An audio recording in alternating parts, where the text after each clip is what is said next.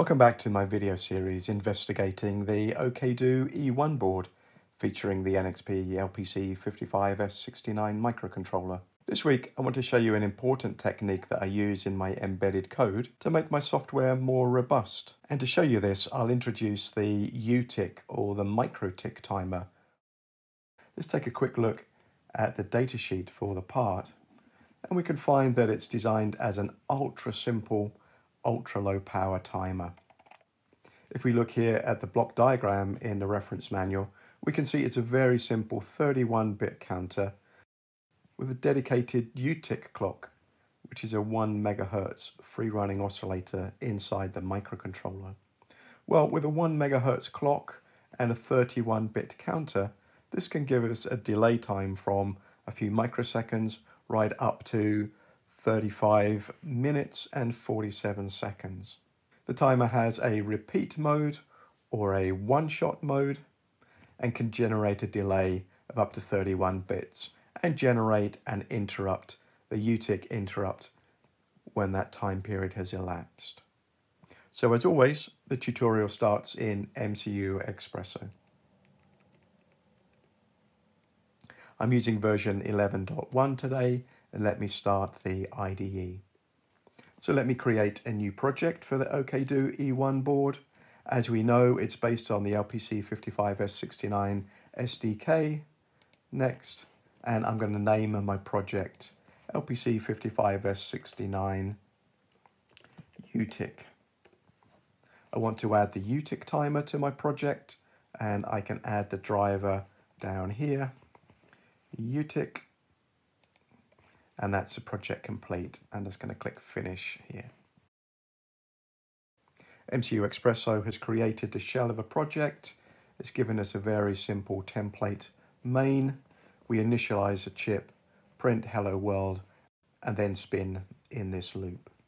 Well, this is a demo project, so of course I want to print F UTIck demo. And we will wait for the timer to complete and I'll show you that in just a moment. So we're going to wait for two seconds. Great. Well, I use the UTIck timer to guard while loops. So I'm going to add this while loop here.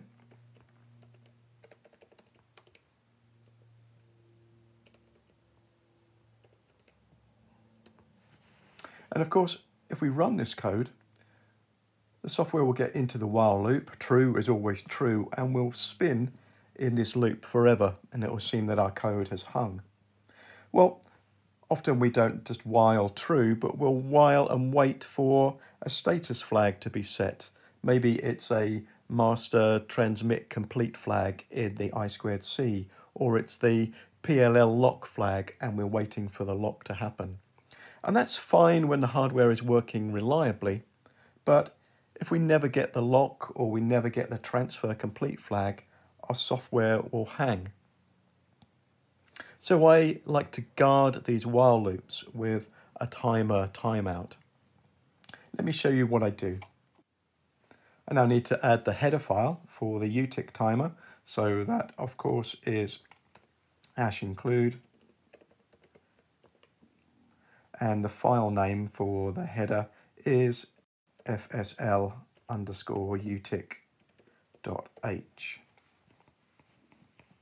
Okay, and we can see that over here in the drivers when we built our project using the new project wizard, it added this UTIck library here. Now I now want to exit my while loop after a two second delay. So I need a global state variable that will tell me when that delay has expired. So I'm going to create a Boolean global variable named g global b boolean tick and we'll set that to be false uh, to begin with. Well, in my while loop, um, I'm going to test for that flag now. So, um, well, we want to see if it's not set. So g bool tick Now we're going to spin in the while loop until G, B, tick is set to be true. Well, we're going to use the UTICK timer to set that after two seconds. And just to instrument our code, let me add a printf after the while loop so that we can test and see when we've completed that while loop. So we'll just add a little status message and we'll say done. Okay, and now here are the three very, very simple steps that we need to take to use the UTICK timer. The first is related to clocking, of course, and as this is an OKDo E1 project, we need to set the clock to not use the external crystal. Let me go into the clocks tool, can open the clocks. And just for simplicity, I'm going to use the internal 12 megahertz free running oscillator for my project. So I'm just going to set as the default functional group this boot clock free running oscillator 12 megahertz. So now our project will use that internal oscillator. Okay. We see that here, free running oscillator 12 is the clock for the whole of the system. Now the UTICK timer has a dedicated 1 megahertz free running clock and we see that here, it's currently inactive.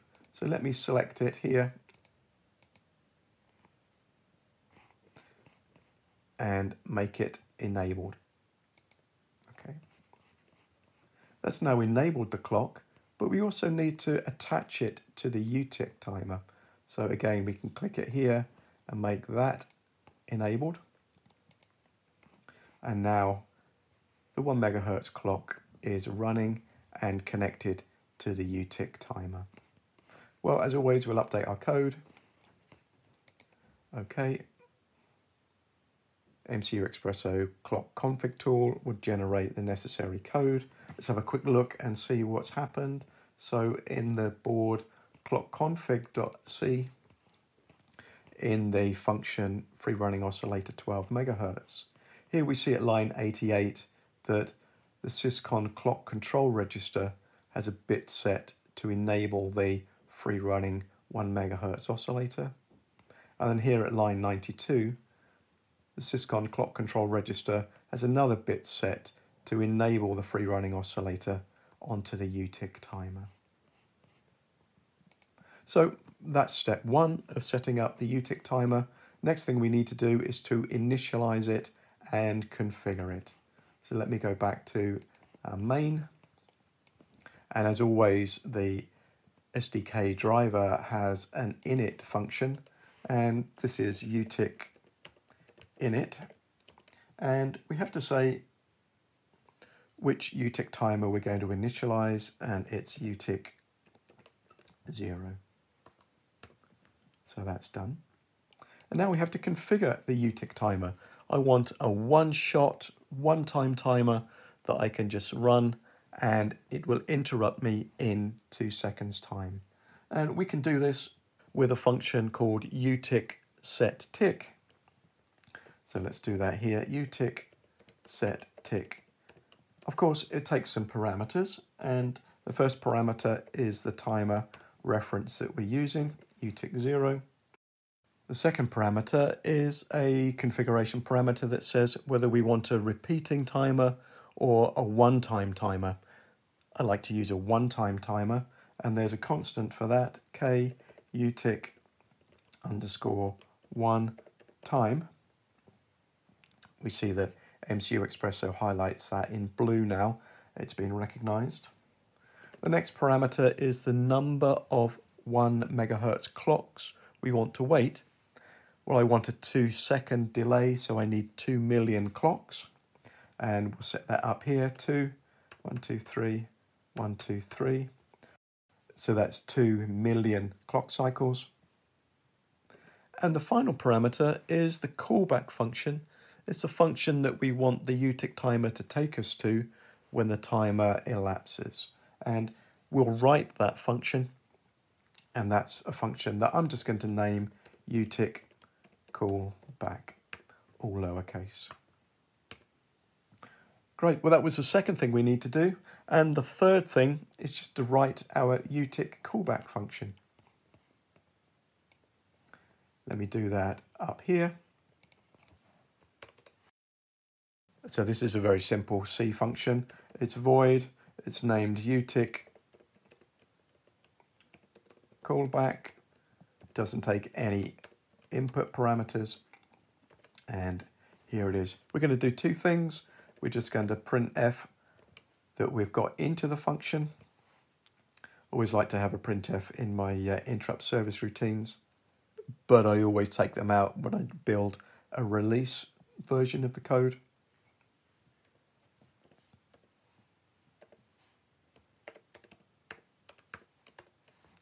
There we are. And then the final thing to do is just update our gbtick variable. So we'll say gbtick is now true. When our code runs, we'll set up the utick for two seconds. We'll spin in this while loop, just waiting for the tick to occur. We'll get into the callback. Callback will set gbtick to be true. This loop will finish and we'll printf done.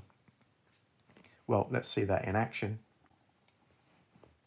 I select a project, I build it, all of our changes are automatically saved, compiler runs, generates our output ELF file, and let me now download that to the board. Watch carefully, I'm going to run the code. We'll see the semi-hosted messages come up in the console window. There'll be a two second delay before we see the tick message printed from the callback function.